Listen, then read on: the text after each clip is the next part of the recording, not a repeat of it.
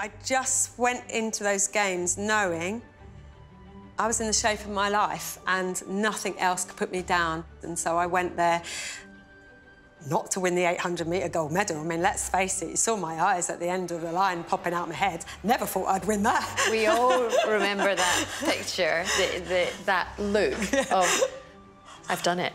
And almost that, well, the disbelief yeah. probably. And then you realised that it was, it was amazing. I'd won, I went into the 800 knowing I was in the shape of my life that I could win a medal and what it would take to win, 1 minute 56, something. And I just ran at how I thought I could win a medal. To watch that race, to see her come from the back, but this time crossing first place was just, I mean, yeah, still goosebumps, like 16 years on.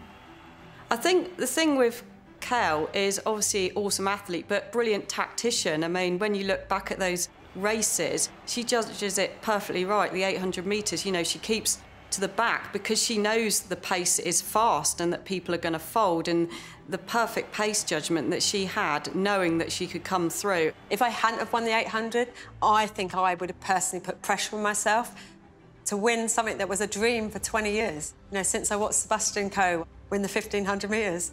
I always wanted to be a 1500 metre Olympic champion. If I look at performance, trying to complete an 800 and a 1500 metre double is tough. I tried it on two occasions and buggered up on both of them.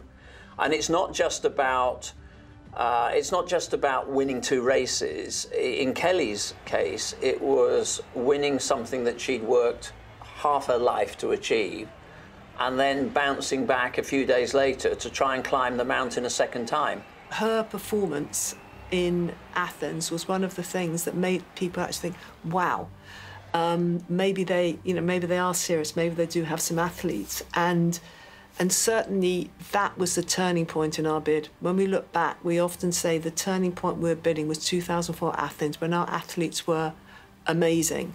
I was in the warm-up area waiting to go out and compete in the 5,000 metres, and the team staff said to me, Kelly's just won the Olympics. I was like, what, a, like the emotion and like the thrill that gave me to know that she just won the Olympic Games. It was very surreal as I warmed up to go out and do um, my own race, and it gave me a massive boost. I felt in the final like I was floating. It's such a weird thing to say to people. I literally felt like something was holding me up and I'm just going through like almost like a movie.